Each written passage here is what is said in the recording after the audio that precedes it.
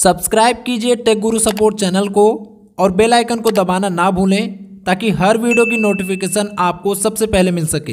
दोस्तों, अगर आप व्हाट्सएप पर किसी को कॉल या वीडियो कॉल कर रहे हैं, लेकिन आपका कनेक्शन फेल बता रहा है, या फिर वहाँ पर कनेक्शन का प्रॉब्लम आ रहा है तो इस वीडियो में मैं आपको बताऊँगा कि इस प्रॉब्लम को कैसे ठीक करते हैं।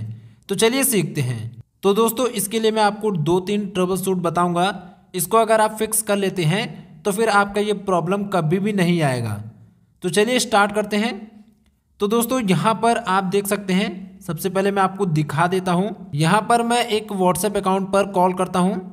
तो यहाँ पर मैंने वीडियो कॉल लगा लिया है। तो देखिए, यहाँ पर मेरे वीडियो कॉल तो लगा लिया है, लेकिन अभी यहाँ पर आप देख सकते हैं कॉलिंग लिखा हुआ है। लेकिन फिर भी यहाँ पर आप देख सकते हैं रिंगटोन नहीं बज रहा है, घंटी नहीं बज रही है, ना ही मेरा कॉल कनेक्ट हो रहा है। तो चलिए इसको ठीक करने का तरीका मैं आपको बताता हूँ। इसको मैंने कट कर दिया। ओके। तो यहाँ पर आपको सबसे पहला काम क्या करना है? आप अपने मोबाइल के नोटिफिकेशन बार को स्क्रॉल कीजिए। अब यहाँ पर आपको एक ऑप्शन मिलेगा एरोप्लेन मोड का। ये हर मोबाइल में होता है। तो अगर आपका वीडियो कॉल नहीं लग रहा है तो एक बार आप एरोप्लेन मोड ऑन कर दीजिए। उसके बाद आपको थोड़ी देर के लिए वेट करना है। फिर यहाँ पर एरोप्लेन मोड को दोबारा से हटा देना है। अब यहाँ पर आपको दोबारा से अपने मोबाइल का डेटा या वाईफाई ऑन करना है। अब यहाँ पर आपको चलिए मैं दूसरा ट्रबल शूट बता देता हूँ। अब आपको आ जाना है सबसे पहले प्ले स्टोर पर। प्ले स्टोर पर आने के बाद यहाँ पर आपको सर्च करना है व्हाट्सएप और अगर यहाँ पर व्हाट्सएप में कोई अपडेट दिखाया है तो सबसे पहले आपको अपने व्हाट्सएप को अपडेट कर लेना है। अगर आपका व्हाट्सएप अपडेट नहीं है तो हो सकता है उसमें कुछ बग या वायरस आ गया हो तो अपडेट कर लेंगे तो अच्छा रहेगा। इसके बाद आपको यहाँ से बाहर आ जाना है। अब नेक्स्ट काम आपको क्या करना है? आपको अपने मोबाइल की सेटिंग को ओपन करना है। सेटिंग को ओपन करने के बाद यहाँ पर आपको थोड़ा सा स्क्रॉल करना है। स्क्रॉल करने के बाद यहाँ पर आपको एक ऑप्शन मिलेगा ऐप्स का या फिर ऐप मैनेजर या ऐप मैनेजमेंट तो उस पर आपको क्लिक करना है। फिर यहाँ पर आपको दोबारा से एक ऑप्शन मिलेगा मैनेज ऐप्स ऐप मैनेजर या ऐप मैनेजमेंट या फिर ऐप लिस्ट कुल मिला जुलाकर ऐप लिस्ट या ऐप मैनेजर जैसा ऑप्शन आएगा। तो उस पर आपको क्लिक करना है। उसके बाद यहाँ पर आपके मोबाइल के सारे ऐप्स आ जाएँगे। तो आपको अपने व्हाट्सएप को ढूंढना है। तो यहाँ से स्क्रॉल कीजिए। अब यहाँ पर आपको व्हाट्सएप आ जाएगा। तो इस पर आपको क्लिक करना है। उसके बाद यहाँ पर आपके व्हाट्सएप का ऐप इन्फो ओपन हो जाएगा। अब यहाँ पर आपको कुछ सेटिंग करनी होगी। इसको आप यहाँ से भी ओपन कर सकते हैं। यहाँ से बाहर आ जाइए। आपको अपने व्हाट्सएप पर उंगली से दबा कर रखना है। फिर यहाँ पर आपको आई बटन दिखेगा छोटा सा।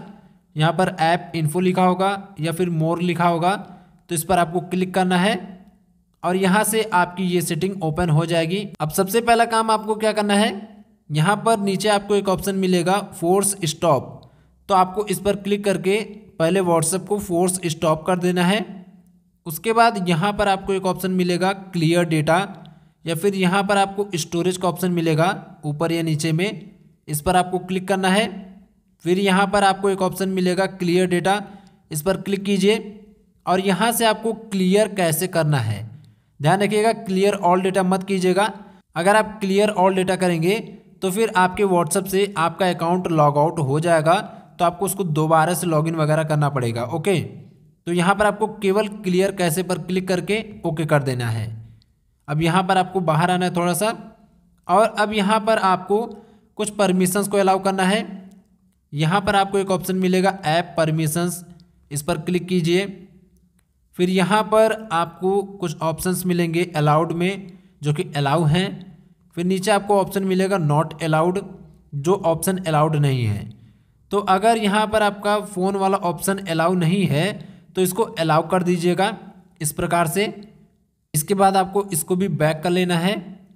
अब यहाँ पर आपको एक और ऑप्शन दिखेगा। यहाँ पर देखिए एक ऑप्शन है रिस्ट्रिक्ट डाटा यूजेज इस पर आपको क्लिक करना है। और अब देखिए यहाँ पर आपको ऑप्शन मिलेगा वाईफाई मोबाइल डेटा अगर आपने दो सिम लगाया है तो दोनों सिम का मोबाइल डेटा देखने को मिलेगा।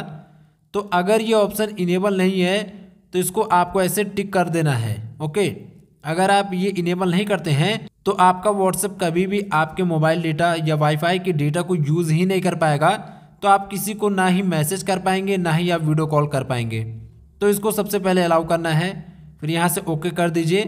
बस, इतना काम करने के बाद अब आपको यहाँ से बाहर आ जाना है।